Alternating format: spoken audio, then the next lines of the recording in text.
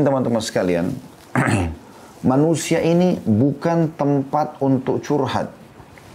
Tapi konsultasi dan musyawarah iya. Fahami poin itu. Jadi manusia ini tempat untuk konsultasi dan musyawarah. Bukan untuk curhat. Begini maksudnya. Kita kalau ada masalah, datang kepada seorang ustadz, kita sedang konsultasi kita sedang ada masalah kesehatan, kita ke dokter, kita sedang konsultasi, bukan curhat. Curhat itu menceritakan dari awal kisah dengan suka dukanya, dengan menangisnya, dengan ketawanya dan seterusnya. Itu curhat namanya. Itu bukan pada manusia. Bagaimana bisa Anda menghadapi masalah rumah tangga 15 tahun, Anda ceritakan kepada sosok manusia di depan Anda dalam setengah jam, satu jam Anda berharap diberikan solusi. Gak mungkin. Gitu kan. Mustahil itu bisa terjadi. Anda buka usaha 15 tahun, 20 tahun, terus Anda konsultasi dengan seorang konsultan dalam setengah jam, lalu kemudian tiba-tiba ada solusinya.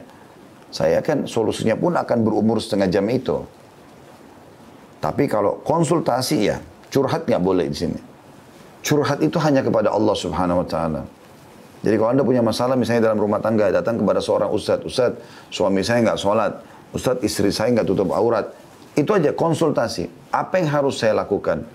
Maka dia akan mengatakan Allah berfirman, Rasulullah SAW bersabda, lakukanlah ini, ini pendapat sebagian ulama, ini fatwa ulama dari negara ini dan seterusnya. Seperti itu. Ya. Dokter pun begitu. Dok, saya sakit kepala dari semalam. Apa obatnya?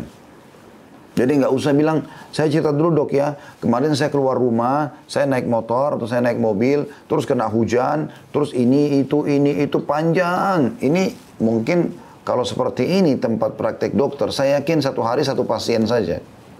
Nggak bakal mungkin banyak gitu. Nah, untuk ke kepada manusia ini hanya konsultasi seperti itu saja. Tanya, to the point, apa mau solusinya. Gitu. Begitu juga dengan bermusyawarah, tanya pendapat, oke. Okay tapi curhat, teman-teman wudhu, ya, menghadap ke kiblat dengan khusyuk di atas sejadah, sholat dua rakaat, niat sholat taubat. Setelah itu anda curhat kepada Allah SWT. Sampaikan semua, tuangkan semua.